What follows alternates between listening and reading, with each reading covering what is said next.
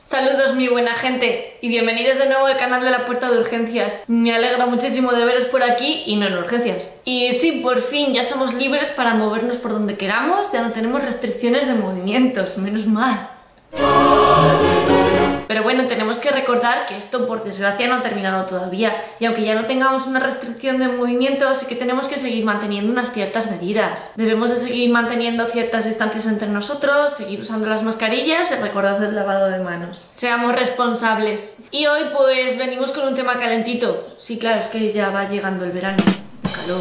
Y con la llegada del verano y con el calor, pues a todos nos apetece salir a tomar algo, salir de fiesta, sobre todo después del año que hemos llevado. Aunque ya sabemos que las fiestas este año van a estar un poquito limitadas. Así que por eso vengo a contaros uno de los motivos de consultas frecuentes en urgencias todos los veranos y también, dependiendo del sitio donde esté el hospital, pues más o menos. Y son las intoxicaciones agudas. Sobre todo vamos a hablar de las producidas por drogas, aunque es cierto que vemos un montón de intoxicaciones ocasionadas por fármacos, que esas las dejaremos en otro lado. Aunque quizá nombremos algo de pasada, pero nos vamos a centrar sobre todo en las drogas. Y lo mejor de todo, hablaremos del sapo bufo. Sí, ¿qué es eso del sapo bufo? Ese ritual, esa droga psicodélica. Seguro que muchos lo habéis oído últimamente en las noticias por un titular como este.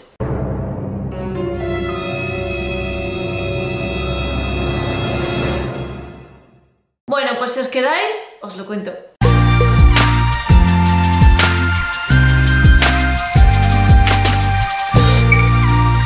Bueno, antes con este vídeo, quiero dejar claro que la intención de este vídeo es únicamente informativa sobre cuáles son los efectos adversos o los efectos en sí que provocan ciertas drogas al consumirlas. Con este vídeo no pretendo promocionar el uso de las mismas y menos de sustancias ilegales, pero creo que es importante conocer los efectos que estas pueden ocasionar. Bueno, y para comenzar con las intoxicaciones de las drogas, hablaremos primero de la más frecuente en urgencias, que suele ser la intoxicación aguda por alcohol. El alcohol es una droga que se ha instaurado en nuestra sociedad como si otra bebida más se tratara y sin embargo pues es una sustancia que de una forma aguda nos puede provocar unos efectos importantes y a largo plazo más aún. De hecho, a largo plazo pues puede tener un daño hepático en el cerebro y bueno, en general en todos los órganos. Pero bueno, es algo de lo que no vamos a hablar hoy, ya que hoy vamos a hablar de las formas agudas. Aunque sí siento deciros que si seguimos consumiendo largo tiempo, bastantes cantidades de alcohol, probablemente terminemos en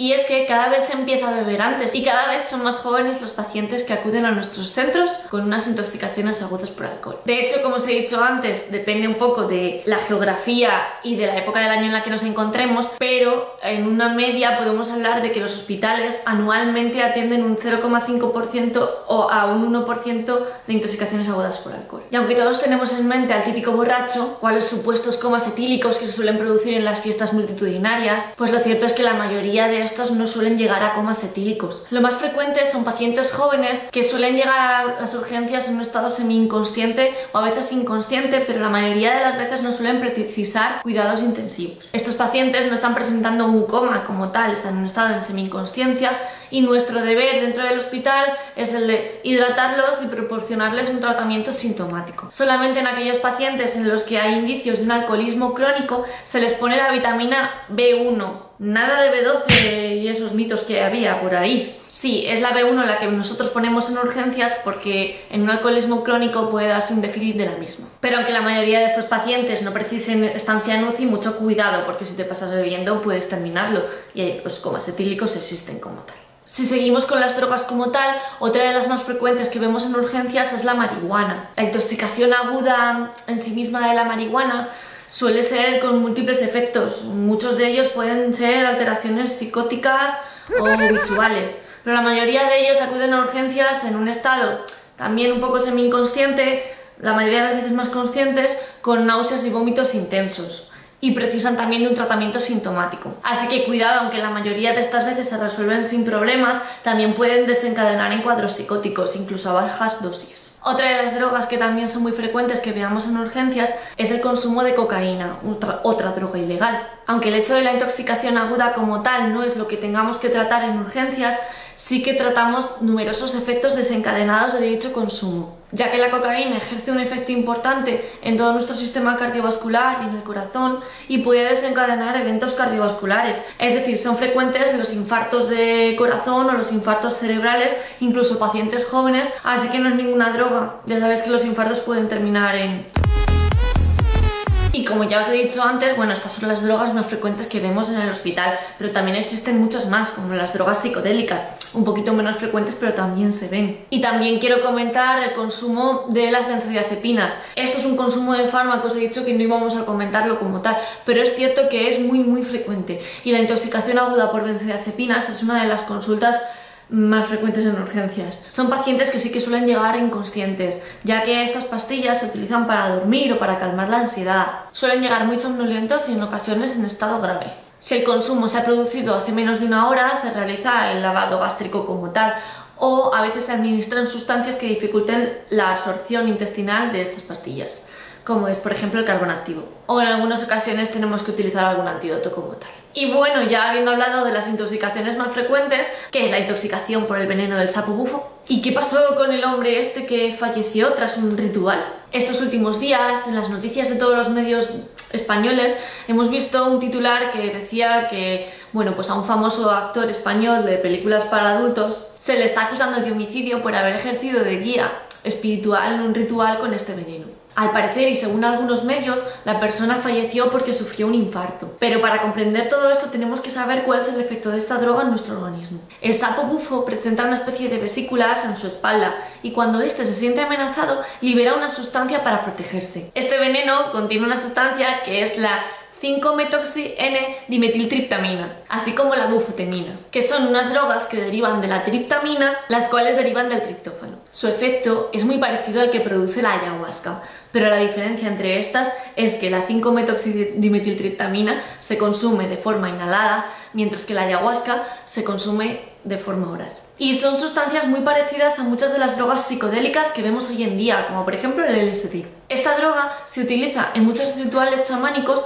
en muchas zonas de Centroamérica porque provoca unos efectos espirituales y placenteros muy importantes. A su vez también provoca alucinaciones visuales y auditivas y además de esto pues también tiene muchos efectos adversos que tenemos que tener en cuenta. Bueno, pues esta droga se obtiene de exprimir esas vesículas de los pobres sapos que hemos hablado y posteriormente pues se fuma. Y tras ser inhalada, esta sustancia entra en nuestro organismo. Y aquí es donde entra en funcionamiento uno de los receptores de nuestro cuerpo relacionado con la liberación de serotonina, una sustancia que está relacionada con el placer. El receptor 5HT2A y el receptor 5HT1A, aunque la mayoría del efecto se produce por unión al primero. Estos receptores los vamos a encontrar en las sinapsis. La sinapsis es la unión de las neuronas, las neuronas, las células que encontramos en el cerebro. Estas, para comunicarse entre sí, utilizan las sinapsis. Vamos, es como el punto de unión entre dos neuronas. Estos receptores de los que hemos hablado se encuentran ahí. Entonces, cuando estas moléculas se unen a estos receptores, provocan una sensación de bienestar generalizado. Pero a su vez,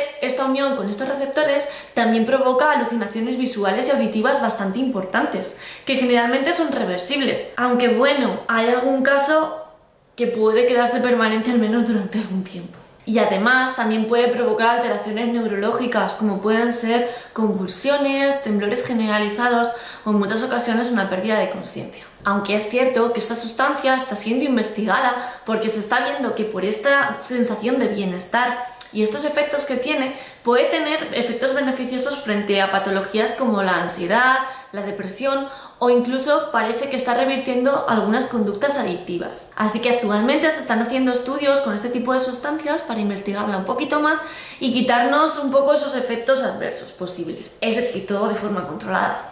Pero bueno, ¿y entonces cuál es el problema de todo esto? Pues es que estos receptores de los que hemos hablado antes, pues por desgracia también se van a encontrar en el sistema cardiovascular. De tal forma que al igual que esta sustancia pasa a nuestro sistema nervioso, pues también se va a unir en algunas capas de los vasos sanguíneos, lo que llamamos el músculo liso. Es una capa que encontramos en nuestras venas y cuando estos receptores se unen a esta sustancia, pues provoca efectos como subidas de tensión y en algunos casos puede desencadenar en infartos. Y ya sabes que los infartos pueden terminar en...